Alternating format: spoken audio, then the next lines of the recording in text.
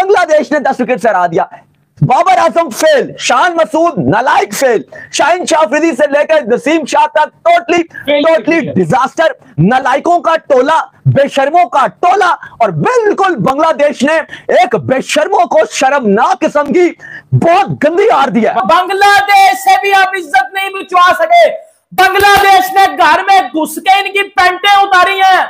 बांग्लादेश ने घर में घुस के इनकी पैंटें उतारी हैं इनको इनकी औकात याद दिलवाई है कि ये घंटे की टीम है मतलब आपकी औकात इस बराबर आ चुकी हो या क्या बांग्लादेश भी पहलेगा आपको आगे ये पाकिस्तान क्रिकेट का दानिश एक ऐसा दौर चल रहा है कि पाकिस्तान क्रिकेट एक नए लो पे है। मैंने पाकिस्तान की टीम इससे नीचे कभी भी नहीं देखी है। उन्होंने जो क्रिकेट खेली है और पाकिस्तान को पाकिस्तान के ग्राउंड पर आउट क्लास कर दिया। ये रेडियो लगा के देनी चाहिए जो ये नहीं है फ्रूट वाली ये रेडियो लगा के देनी चाहिए। इतनी इतनी तनख्वाहें ले रहे हमारे ये जज्बात के साथ खेलते ये नहीं पता हमारे साथ क्या होता क्या नहीं होता। ना हमारी अच्छी परफॉर्म हो बैटिंग कर रही है ना बॉलिंग कर रही है। ये पाकिस्तान क्रिकेट के लिए एक ब्लैक डे है एक सैड डे है। आज पाकिस्तान की क्रिकेट ऑफिशियली खत्म हो गई है क्योंकि आपने जिस तरीके से एक बड़े बड़े किंग जाली किस्म के one number one bowling attacks आपने रखे हुए थे। आज बांग्लादेश ने आपको आपके होम ग्राउंड में, आपके अपने बैक यार्ड में दफन कर दिया इतना शर्म का मुकाम है कि मतलब हजम नहीं हो रही ये चीज़ कि हम बांग्लादेश से ये मैच हार गए। ये वो बांग्लादेश की टीम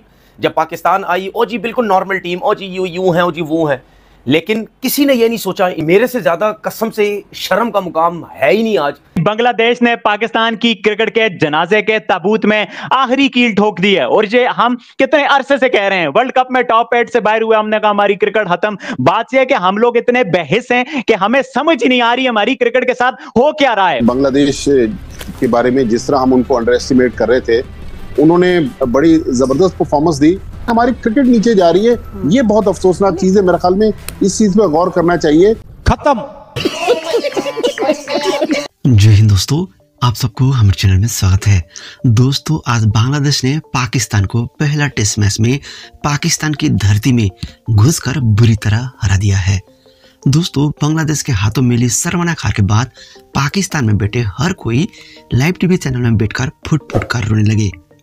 चलिए दोस्तों इस वीडियो पर पाकिस्तान मीडिया का रिएक्शन क्या है जानते हैं और हम आपसे बातें करेंगे वीडियो के बाद में। बांग्लादेश ने दस विकेट से हरा दिया।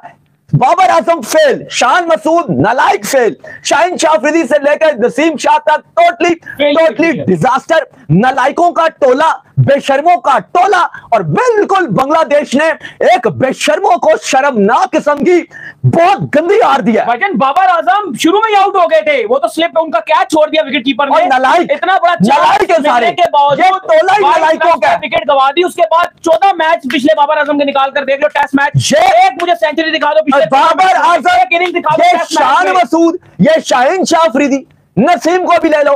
सऊद शकील को भी ले लो ये जितने के आगा को भी ले लो ये जितने नलायक हैं। ओ भाई जितने रिजवान को भी ले लो ये जितने नलायक हैं। ये जितने के जितने नलायक हैं इन बेशर्मों ने एक साल नहीं डेढ़ नहीं दो नहीं ढाई नहीं तीन साल से ज़्यादा पाकिस्तान सवा तीन साल हो गया। पाकिस्तान घर पर कभी टेस्ट मैच नहीं मेरे घंटे के निकलो मेरे के करके मतलब आप लोग बांग्लादेश से भी आप इज़्ज़त नहीं बिचवा सके। बांग्लादेश ने घर में घुस के इनकी पैंटें उतारी हैं।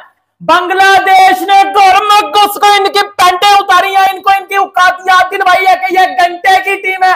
मतलब आपकी औकात इस बराबर आ चुकी हो या क्या बांग्लादेश भी पहलेगा आपको आगे। मतलब औकात आपकी खत्म है। क्रिकेट आपकी खत्म है। मुलक आपका खत्म है। इकोनॉमी आपकी खत्म है। घंटा करने आए हो। अब संडे कैसा गुजरा है? वो बजा दिया पकड़ के बांग्लादेश ने आपको। सही बात है। दोस्तों आपने इस वीडियो पर पाकिस्तानी मीडिया का पूरा रिएक्शन देखा।